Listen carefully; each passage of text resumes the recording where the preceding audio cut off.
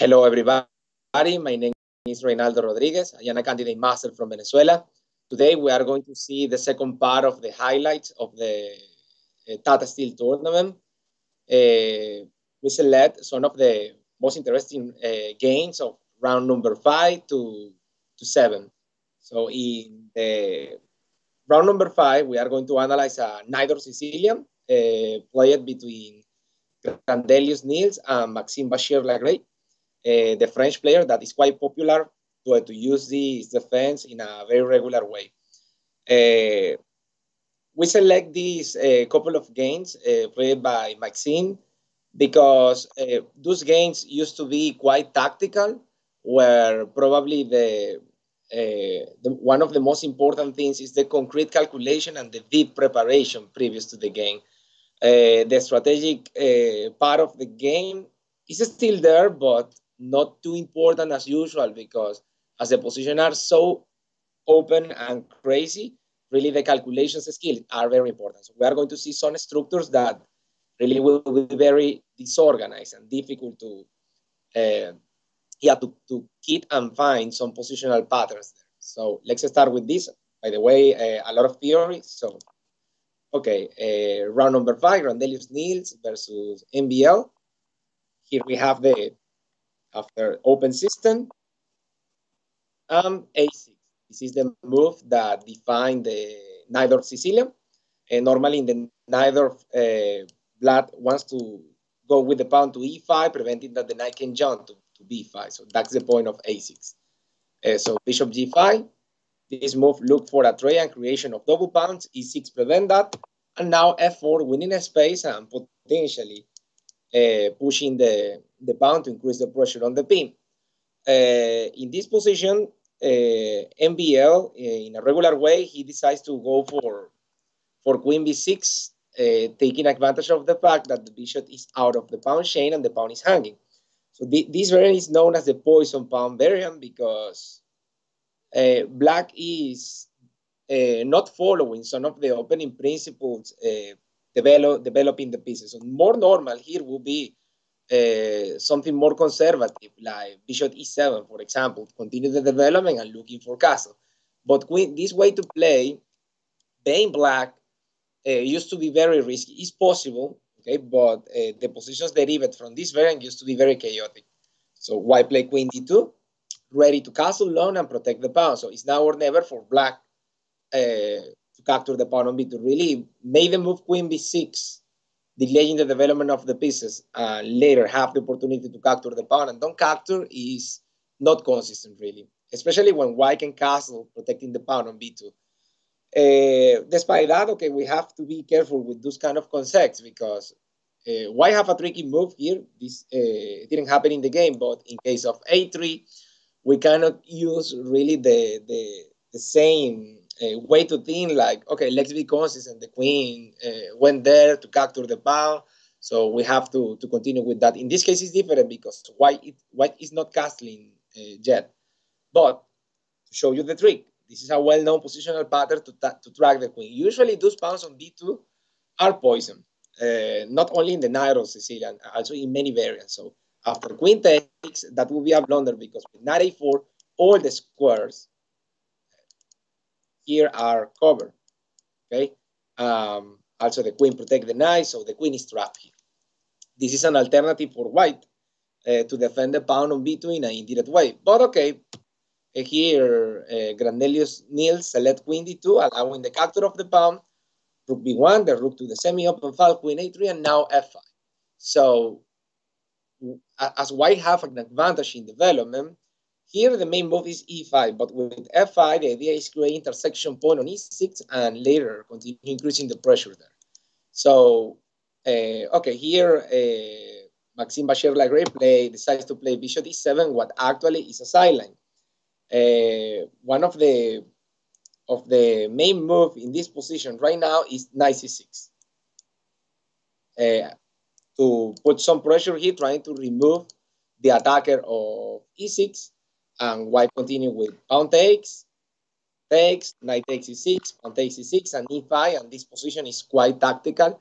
Uh, white continue opening the position with more pawns sacrifice, and the point of that is just create more coordination in, in, in, in, in black setup.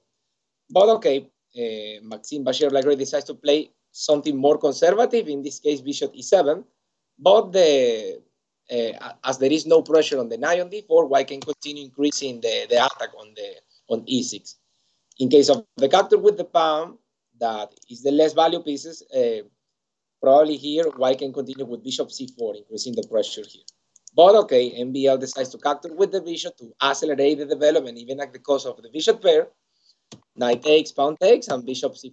More development, so pawn of disadvantage for white. The pawn structure is very ugly, but uh, still preserve the advantage in development and some attack in black positions. Knight b d7, uh, black have to continue development, uh, giving away some material. So bishop takes on e6, knight c5, attacking the bishop. And here, uh, looking at the database, bishop b3 apparently is, is the first move out of the database here on the Lichess database at master level.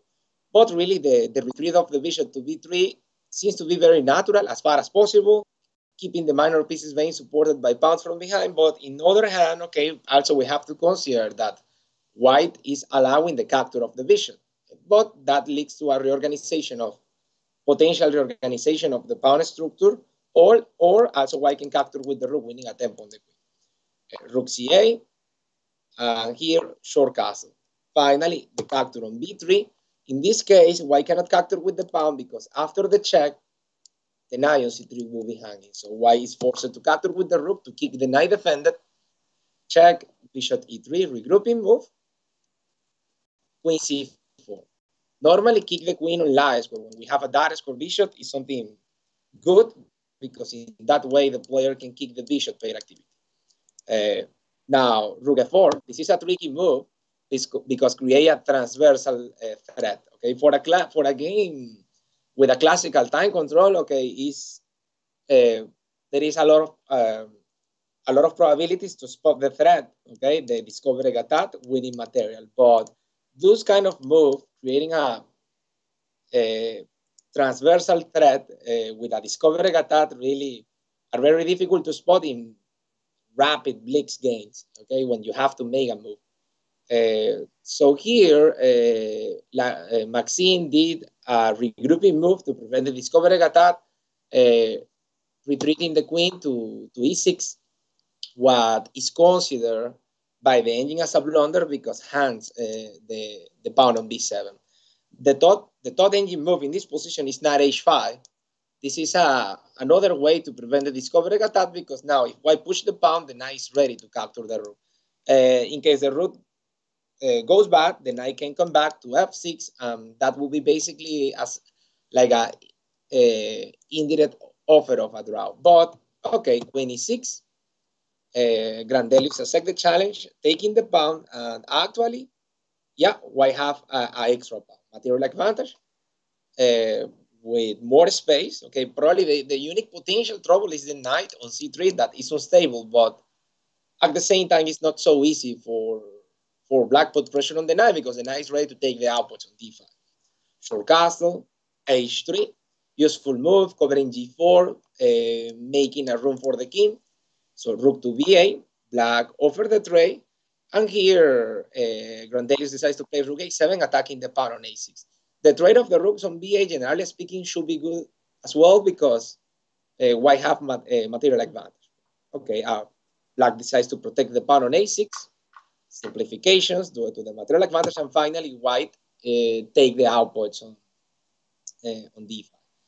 About this position, uh, really white have a clear extra pawn, and there is no counterplay in this position for, for black. Also, the knight here is looking for this fork, and in case that black decides to remove the output, why can simplify or simply recapture with the pawn, reorganizing uh, the, the pawn structure. Uh, some move like, for example, I think the capture on e4, white can play knight takes on e7 check, followed maybe by queen d5 check, forking the rook, the knight, all the pieces will be hanging. So very tricky position. So rook ba to remove the rook from a potential fork and also some invasion squares in the open file. And now c4, uh, reinforcing the, the outputs. So here, uh, bishop back to square away. According to the computer, the best move is the capture of the knight, but in that case, white can simply recapture, recapture reorganizing the, the pawn structure. Really, okay, the engine says that the move of Vachier is a, is a mistake, but clearly this is the way to play when we know that we are in inferior position. So normally uh, we would like to kick some pieces on the board, hoping to kick the complexity of the game. So really, in a practical point of view, the move is perfect, understandable. So, okay, queen f2, knight d7. So uh, MVL is trying to reroute his knight, maybe looking for for better squares. The, a knight landing on e5 will be very strong, but he have to be careful of the background. So bishop d4 to square away of the knight, anticipating the knight in that semi-output.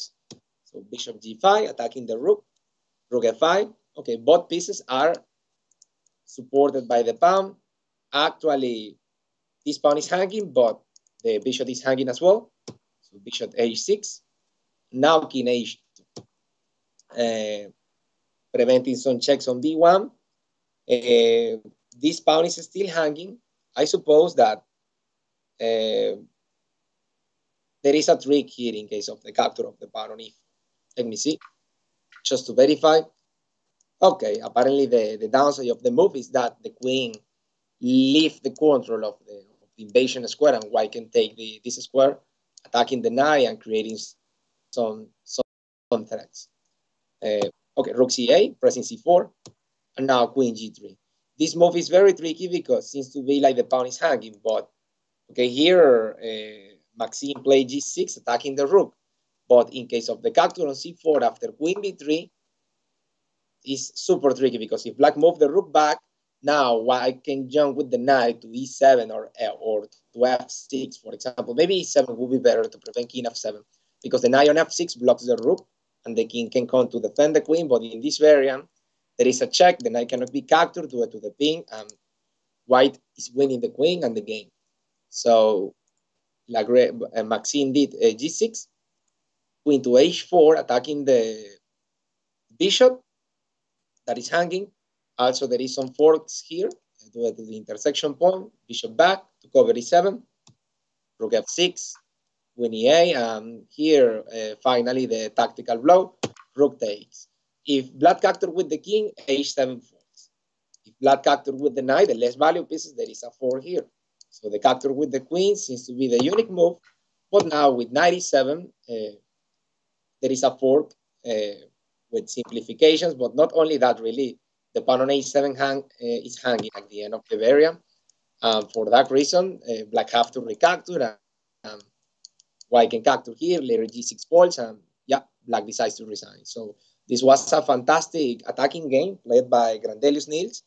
I think at this moment of the tournament, in round number five, with this victory, he he take the, the sole lead of the of the tournament, but was a quite good uh, attacking game. Normally, those those variants like the poison pawn in the Najdorf Sicilian, the positions are very uh, messy and um, it's very important, the calculations skill. So seems to be like uh, is unnecessary playing this way for black. But okay, uh, don't have really. That is his main repertoire. In other hand, you know, people can be very well prepared for the game because he played basically exclusively, you know, the, the the Najdorf Sicilian. Also, another factor is that actually he is competing for, for, in the in the candidate tournaments, and maybe he don't want to show his his main preparation, so he is just playing some sidelines, even at the cost of inferior positions, reserving the uh, the good things, you know, when the when the candidate tournaments uh, have been restored. Okay. Uh, well, with this, with, with this, we finish with this game. Let's go to round number seven to see another Najdorf Sicilian, but this time played between Fabiano Caruana and Maxime Vachier-Lagrave. Uh, we are going to see a common situation, MVL selecting a sideline in, in the in the Najdorf Sicilian. So we have another bishop g5, e6, f4, queen b6, queen d2, another poison pawn variant. The pawn on b2 is hanging, so black accept the challenge, capturing it, rook b1, queen a3, and now bishop e2.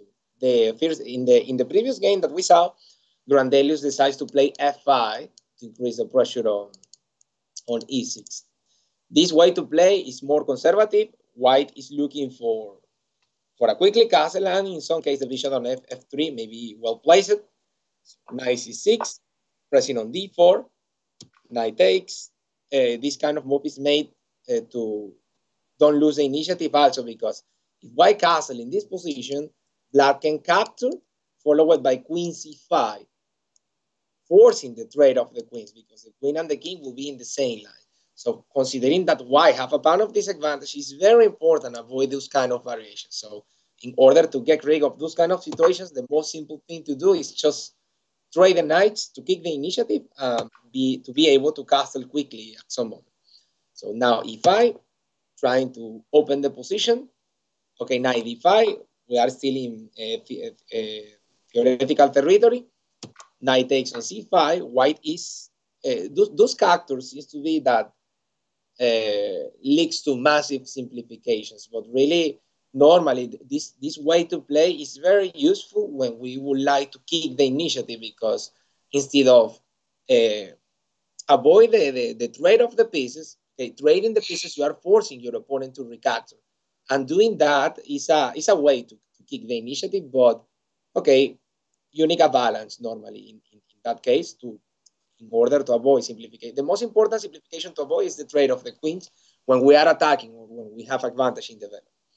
So here, okay, the the theory recommend okay the capture of the pawn with the with the of the knight with the c pawn, but instead of that, uh, MVL did the capture with the with the e pawn. So okay, a lot of comments. The move is a is a blunder, but I still have my my doubts if this is just an intentional blunder to see, you know, to test uh, Fabi preparation. In this moment of the game, he started to think a lot and he found over the board the, the best way to refute that, uh, pushing the pawn to uh, to e6. This is not uh, an easy move to spot.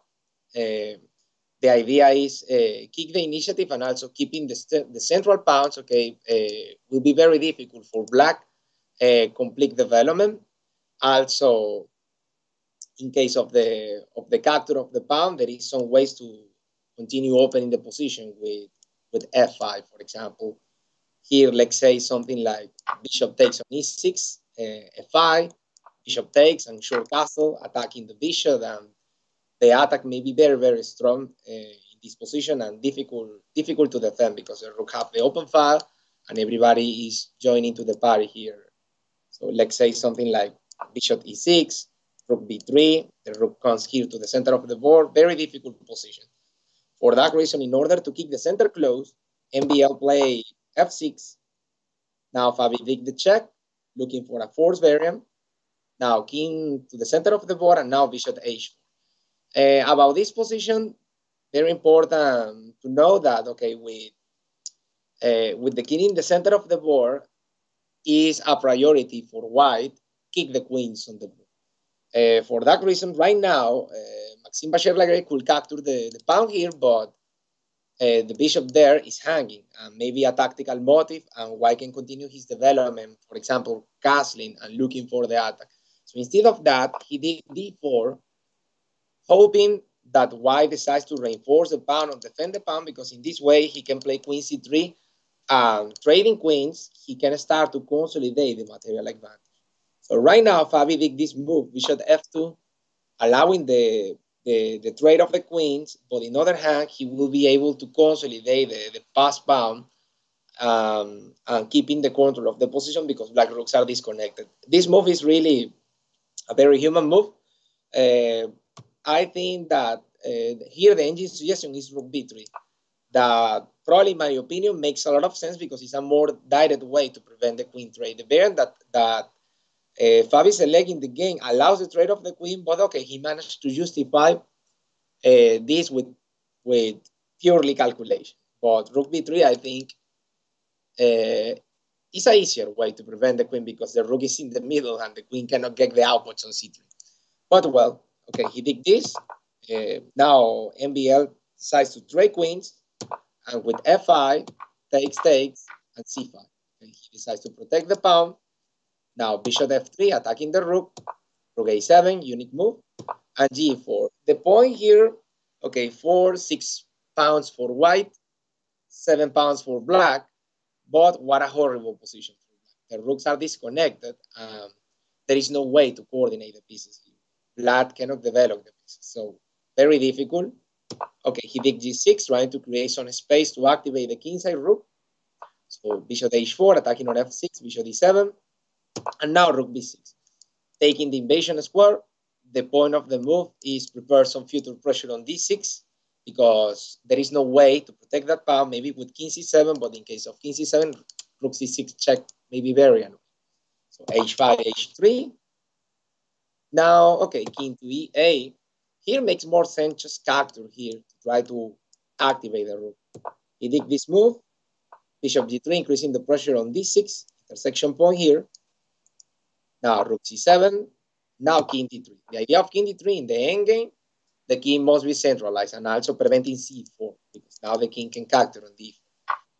Mistakes, a lot of simplifications, but white position is too strong due to the to the to the advantage of space. In this case, uh, we are in the endgame, and the advantage of space don't turns into overexpansion as usually happens because there is no way for black to attack the base on g4 on f5. There is no knight, and the lion square bishop cannot be moved because those squares are very well controlled. So for that reason, the advantage of space in this specific engine is something very important. So takes, takes, bishop f8, king c4, activation of the king. Okay, uh, black is looking for some counterplay. Bishop e4, keeping everything connected. Bishop e7 here. Maybe rook h3 to look for counterplay make, makes more sense. Okay, bishop e7, bishop takes, finally the pawn folds, um, folding the base, the rest of the pawn folds as well. So uh, he did a transformation to a rook endgame with two extra pawn. Um, in hands of Fabi, this should be more or less easy to convert. The king can improve, probably looking for the g6 square. Also, this king is passive. It's going to be controlled by the rook. Um, and here, uh, black decides to, to resign. So in, in, in both cases, uh, MVL decides uh, to select a sideline, uh, accepting an inferior position, but okay, hoping to to uh, fish uh, something in the in the middle of the chaos, but without success. Yeah, these these kind of positions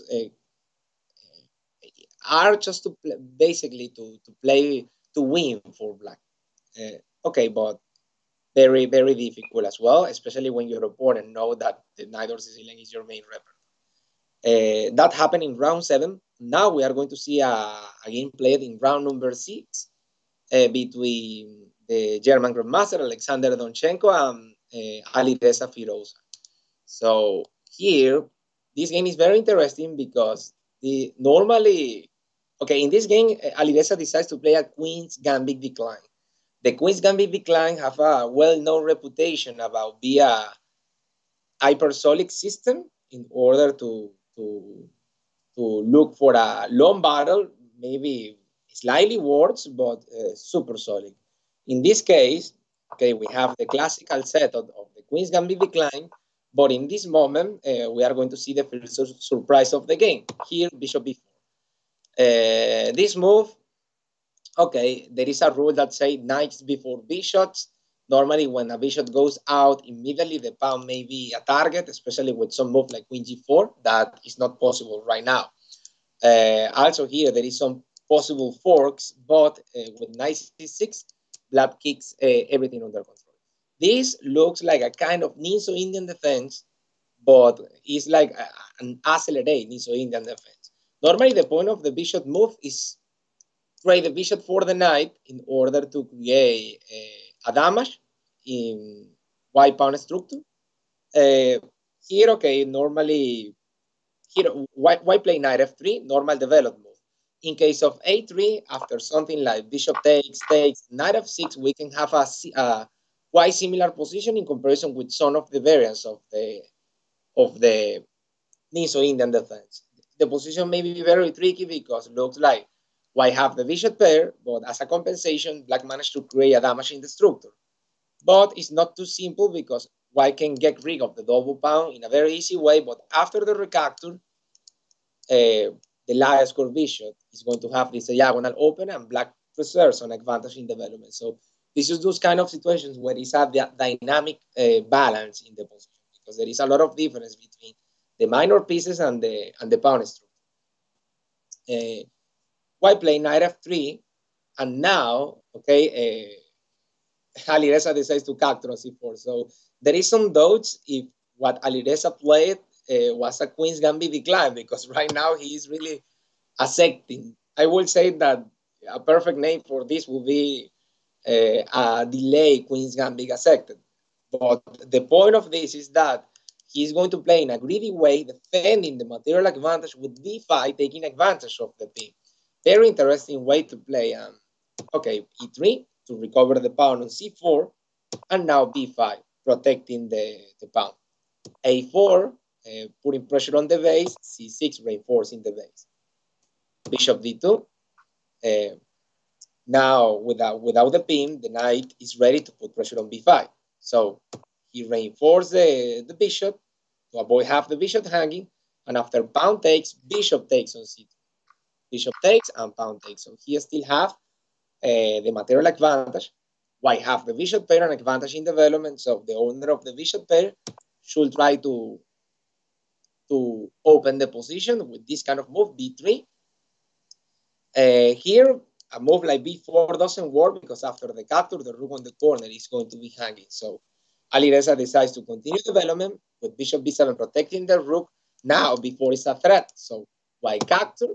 And finally, uh, black decides to push the pawn to b4. So white restore the material balance and wins the bishop pair and have a unique ice. And okay, black don't have the bishop pair, the pawn structure, generally speaking, is works, but manage to create two connected pacers that may be very uh, dangerous, especially for, for, for a potential ending in the future. So, okay, bishop b2, knight f6. Here, both players continue with pretty standard move, developing move, until connect the, the major pieces in the background. So, okay, now uh, white decides to play knight d2, probably trying to reroute the knight uh, to, to the queen side, or and also maybe to be able to move the queen somewhere, because uh, white have to be careful with a potential trade on f3. And now here e5. This move is a bit counterintuitive because without the bishop pair, black is opening the position. Really, these central pawns okay, especially the pawn on d4 is very solid because it may have a base on e3. So black is hoping basically that trading a couple of pawns, the white center is going to be more unstable and maybe to create a real hanging pawns. These two pawns are like hanging pawns, but not real hanging pawns because the pawn on d4 is being supported by the pawn on e3. But if black managed to provoke the advance of the pawn, some squares around the structure may be available for, for especially for the knight. So here, uh, Donchenko decides to play bishop c2, keeping the tension, and now queen c7 and h3. Okay, kind of waiting move. The engine suggests here d5 as the best, but this move is not easy to do when you are losing the control of the knight and allowing that the knight gets on important squares, and from this location, the knight potentially can support the advance of the of the pass pawns on the queens. Okay, h3 makes a lot of sense. Okay, just a kind of waiting move. Uh, rook to e8, potential semi-open file in case of the trade of the pawns. Bishop b3, supporting the, the pawn on c4, and now a6. Okay, uh, as well, uh, waiting move, but improving a little bit the position, making a room for the king. Now knight f3, and here rook a6. This move is just uh, in my opinion, the strongest move of the game. Uh, this is a case of uh, rook maneuver when the sixth rank is empty. Uh, potentially the rook can be transferred to the other flank in order to have a potential new attacker in that sector of the board looking for the intersection point. Those ideas are brilliant because normally, uh, for many reasons, okay, for the global vision of the board, long move, he's looking for long move, and also transversal game. Normally, all the players have a vision of the board looking for forward move, but this way to play is uh, very typical at master level. So uh, this is a very good example about how to do a maneuver with the rook, to incorporate the rook using the ranks. Okay, uh, knight takes on e5, takes, pawn takes, black sacrifice a pawn, but now removing the pawn on d4, this pawn can be recaptured and the c5 square is available for the knight. So white decides to keep the material uh, advantage but now after knight c5, okay, the knight here is in front of the most advanced, well, one of the most advanced pawn of the opponent. The most advanced is e5, but in this location, potentially the knight can be dislodged with f5. But here, there is no pawn beside to remove the knight. So it's a very, very strong location for the knight. Bishop c2 to square away, and now a4. Here, uh, the, the original idea was transfer the rook but with the bishop on c2, the square is covered. So there is no more the possibility to create intersection point. But in other hand, the, the new uh, achievement for black is this strong knight on c5 that is supporting the advance. So he did here a4. That it's a very tricky move because it seems to be like the pawn is hanging, but uh, in part of the variant, the queen can come to c6, creating a checkmate threat and attacking a pieces hanging on, on a4 winning material. For that reason, Donchenko decides to play f5. That is the best move in the position and quite logical because black advantage is based in the queenside majority. Why have a kingside majority? Why should try to play in the sector of the board where he have the, the, material advantage? So b3 or fourth move, bishop b1. Now, uh, look to the background. This is uh, black is just regrouping in order to connect the rooks. A very common characteristic of those super strong players that they usually don't play with, with things hanging. Everything is connected. This is known as fortress strategy at the base of the pawn chain. Okay, uh, here, uh, okay, to the background, uh, white push, hoping to open lines because the owner of the bishop pair would like to trade pounds to enable new diagonals. And here, according to the principle that the player that don't have the bishop pair should keep the position close. F6 is the best, best way to prevent the opening of new lines. Instead of that, Alireza did queen d3. That is a very tricky move because he's threatening checkmate in one move and also the pawn on e3 is hanging. So rook f2 to prevent the checkmate. Uh, this here, according to the engine, the position right now is plus two in favor of white, but very difficult to understand. This is a very irregular position. Rook disconnected, two pass pawns. It's very dynamic. And really the move that the German Grandmaster did is quite logical because the engine suggests queen e2 to protect the pawn with the queen. But there is a well-known rule that says the queen is not to defend. The justification of the engine suggestion is that after f6 with rook f4, the rook, instead of be defending the pawn on g2, can leave the queen out of the game, kind of trap. So it will be very difficult for black coordinate the pieces again. But those ideas, okay, very really what Donchenko did is more human, defending with the less valuable pieces. And now uh, Alireza did F6. One more time a case of an exception because the, the stockfish says right now that the best move is just capture the pawn. But who is going to capture removing the pawns and open the lines for the bishop? So basically the decision of the capture of the pawn can be based in uh, purely calculation, uh, very concrete variant. But according to the principle, really what the Iranian Grandmaster did makes more, much more sense. Okay, f6 to kick the bishop's block. Not the best, but quite logical. We are not uh, engines, okay? So the game is still very, very instructive. Okay, now bishop d4. Why take this uh, strong location? For the bishop.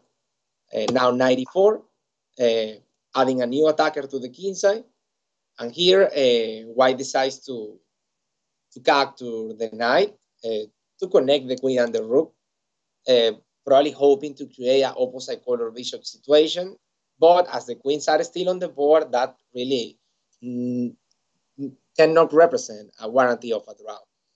Uh, white did the move according to the to the stockfish. Okay, uh, one of the best moves is move the rook to f4 or to f3 to leave the queen uh, out of the game, but place the rook in the far of the bishop or move the rook that is protecting the checkmate on g2 really is not logical from a human point of view. Really, what, what Donchenko did makes more sense. Takes, takes, now rook a3, trying trying to block the passers. Uh, Alireza moved the rook, attacking the pawn on c4. Why push the pawn to protect the pawn? Now king a7. This this is a move that improve the location of the king eventually because if the pawn advances, this diagonal may be open. Maybe it's a prophylactic move in the long term. It's not looking for a specific purpose at the moment. Queen d2, now b2. Okay, uh, not a good move according to the to the computer. Uh, basically, the idea what he was looking for is just with the with the pawn sacrifice, open a line for the rook to try to get the background because the white king have some background issues the position is very difficult. And here, uh, well, this is a case where normally capture with the less valuable pieces used to be the best. And in this case, the rule, as in most of the case, is the best thing to do, but very difficult to do when the pawn on c5 is being guarded by the bishop. Donchenko did the more human way uh, to, to proceed, capturing with the queen, not following the rule, but keeping the pawn defended. So that was a, well, more than a position, really, that is tactics. He's opening lines. Rook to the open file, queen to a2, and finally the, the rook joins to the party. So rook f1, rook cba, threatening the trade of the rooks and the, invading the, the background with the new rook. Queen f2 takes, capture with the with the king is a unique move because in case of capture with the queen, black can move the rook to deflect the queen and later do the checkmate on g unique move, king takes, rook b1 check, and king e2. And in this moment, uh, there is no forced way to continue with the attack because there is no, uh, let's say, useful checks uh, available. The unique potential check may be rook b2, but that square is covered by the bishop. So right, right now, uh, white is uh, ready to trade queens. So as we are attacking, we don't we don't want to we wouldn't like to, to trade queens, basically. So he did this spectacular move, the best move in the position, a long move, and also a backward move to avoid the trade of the queens, but also ready to incorporate the queen in the attack through the lias, because the lias squares are very weak. Generally speaking, black is only white is only controlling the data. Queen f4, offering the trade of queens. Um, okay, uh, Alireza says no. King d2, four checks. Uh, bishop c3. And finally, the rook is hanging and still with, a, with an attack going on. And the game continues a couple of moves more. Queen takes, queen c1, uh, queen f1 check. Um, yeah, here, after king here, the, the rook come here. Um, white have to play bishop d2, and in this moment after queen f1, uh, white decides to, to resign. So th this game is very instructive to see how to play uh, an opening with a with a strong reputation of being super solid, but uh, in hands of this uh, young talent, somebody say that potential future world champion, he can convert this uh, this opening in something very dynamic. So very instructive um, the way to play of the Iranian Grandmaster. Um, well, maybe that can work as a motivation for all the viewers to, to try to emulate this variant in some of your games. I will try to do as well. So, well, guys, with this, we finish with the with this uh, second part of the highlights of the Tata, Tata Steel tournaments. I hope you find those comments and analysis interesting and useful for you. So don't forget if you enjoy the content, like and subscribe, share with your friends, and hope to see you in a new video. Take care. Bye.